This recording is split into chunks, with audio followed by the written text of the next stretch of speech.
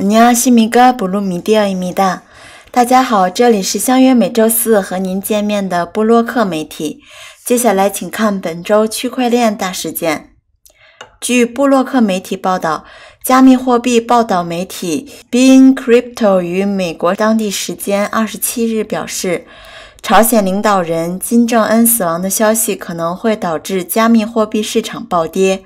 另外，Being Crypto 还称，如若金正恩的死亡消息属实，朝鲜会为此而出售价值六亿六千万美元的虚拟资产。目前，朝鲜领导人金正恩已有两周以上没有在公开场合露面。据多家媒体猜测，金正恩或因不到位的心血管手术遗留后遗症，导致成为了植物人。韩国官方二十六日对金正恩的健康状况表述，却与众多的传闻不同。韩国总统文在寅的统一外交安保顾问文正仁向美国 CNN 表示，金正恩活着，而且状态很好。金正恩从四月十三日以来一直待在元山地区，目前尚未发现朝鲜有任何可疑动作。韩国《东亚日报》于四月二十六日引述美国情报部门报道称，金正恩做了手术，正在休养，但不至于陷入危险。Beecrypto 称，联合国自二零零六年以来对朝鲜采取了禁运政策，朝鲜因此有许多参与入侵加密货币交易所的黑客出现，并接连盗取近二十亿美元的虚拟货币。该社还猜测，预计这些资金将被用于核导弹开发。部分报告书中还显示，朝鲜拥有的虚拟资产达六点六亿美元以上。据布洛克媒体报道，中国国内消息，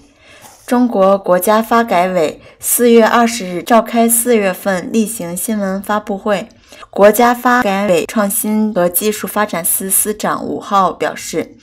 下一步国家发改委将联合相关部门，研究出台推动新型基础设施发展的有关指导意见。此次发布会上，国家发改委首次明确新基建范围，主要包括三个方面内容：一是信息基础设施。主要是指基于新一代信息技术演化生成的基础设施，比如以 5G 物联网、工业物联网、卫星互联网为代表的通信网络基础设施。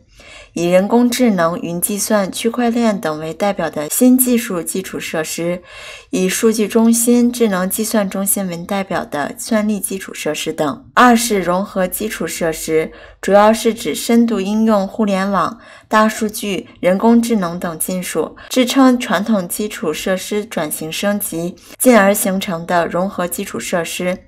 比如智能交通基础设施、智慧能源基础设施等。三是创新基础设施，主要是指支撑科学研究、技术开发、产品研制的具有公益属性的基础设施，比如重大科技基础设施、科教基础设施、产业技术创新基础设施等。据布洛克媒体调查。新基建及新型基础设施建设这一表述始于二零一八年十二月召开的中央经济工作会议。该会议提出，加快五 G 商用步伐，加强人工智能、工业互联网、物联网等新型基础设施建设。二零二零年以来，国务院常务会议。中央深改委会议、中央政治局会议等顶层会议中，先后多次提及加快新基建项目。